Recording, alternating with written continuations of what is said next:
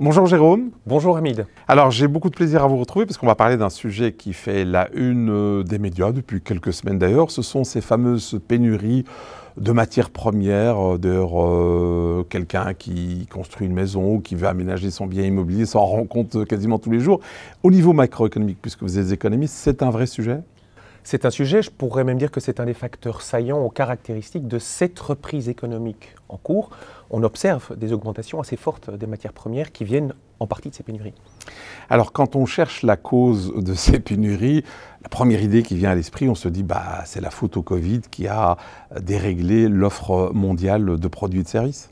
En fait, il faut savoir que les pénuries et aussi les excédents sont un des facteurs euh, classiques dans la production de matières premières. Euh, pourquoi? Parce qu'on a, une offre qui est rigide. Pour fabriquer du minerai de fer ou pour fabriquer des semi-conducteurs, il faut des grosses usines ou même des mines. On ne les construit pas en un jour, donc on a une offre qui est rigide. Et puis une demande qui fluctue avec le cycle économique. Et donc on a souvent des pénuries et des excédents. C'est vraiment classique dans, je dirais, la théorie économique. Ceci dit, le cycle qu'on connaît aujourd'hui, il a été accentué par un choc très bizarre, celui de la, de la pandémie, où on a eu tout à coup un trou d'air et puis un redémarrage, redémarrage très fort. Et donc, ça explique pourquoi c'est un phénomène encore plus caractéristique de cette reprise économique-ci. Parce que l'offre est rigide et que la demande a explosé, notamment après, après les vaccins. La plupart des, des, économies, j'ai failli dire les entreprises, ont redémarré. Euh, voilà, les entreprises ont redémarré très vite et nous, voyant la partie classique de cette affaire, on s'est tout de suite dit, bon, c'est un facteur qui est temporaire. Ceci dit, il est saillant, il est caractéristique et il dure un peu dans le temps. Alors ces pénuries, j'imagine, ont été exagérées ou accélérées encore plus par la mondialisation, puisque on le sait tous maintenant, on est très interdépendants et donc ça, se vérifie pour les entreprises. il y a des facteurs de blocage qui ont lieu. Précisément, la mondialisation a joué aussi un rôle parce qu'un des effets de la mondialisation, ou même un des objectifs, c'est la spécialisation. On va chercher les meilleurs fournisseurs un peu partout dans le monde, qui sont donc éparpillés. Ça, ça a pour effet que le transport joue un rôle prépondérant.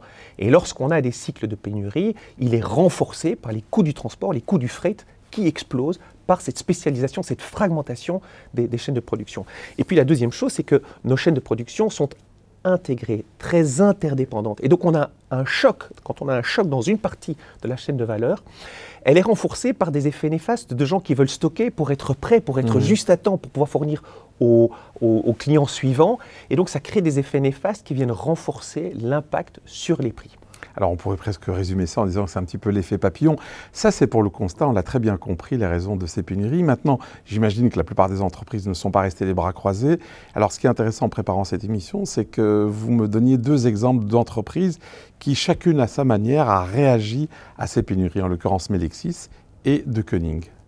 Oui, il faut réaliser qu'on ne peut pas généraliser l'impact de ces pénuries sur toutes les entreprises. Chaque entreprise, j'allais dire chaque secteur aura une réalisation qui sera différente. On prend ces deux exemples. Donc Melexis, c'est un fournisseur de circuits intégrés pour l'automobile. Euh, là, les chaînes de production et les chaînes de contrat sont très longues. Et donc, ils ont, dans la négociation du contrat avec leurs clients, négocier que s'il y a des augmentations des prix qui se font, eh bien, ils pourront être répercutés, bon an, mal an, envers les clients avec des contrats à très long terme. Et donc l'impact sur une entreprise comme Melexis de ces pénuries est assez faible. Pour une entreprise comme De Koenig, active dans la chimie, euh, plus cyclique, les cycles sont beaucoup plus courts et les contrats sont beaucoup plus courts. Et donc, si, si De Koenig fait face à une augmentation de ses fournisseurs, elle va avoir plus de mal à les répercuter à court terme à ses clients. Eux, ils doivent, être très attention de très vite renégocier leurs contrats pour garder les mêmes marges. Parfait Jérôme, bah, grâce à vous on a compris, un, d'abord les raisons de ces pénuries et surtout la manière dont un certain nombre d'entreprises réagissent à ces pénuries. Merci. Merci Hamid. Thank you.